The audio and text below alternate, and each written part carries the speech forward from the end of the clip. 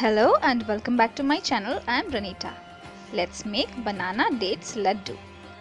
Before we get started, if you're new here and haven't subscribed to my channel yet, then please consider subscribing and click the notification bell so that you'll be notified every time I upload a new video. Note down screenshot this recipe for your reference and let's get started. You'll need a clean blender, add desiccated coconut into it.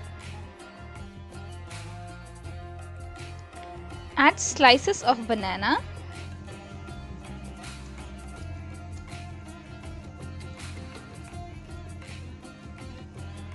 a pinch of cinnamon powder and some nutritious dates. Don't forget to remove their seeds before adding into the blender.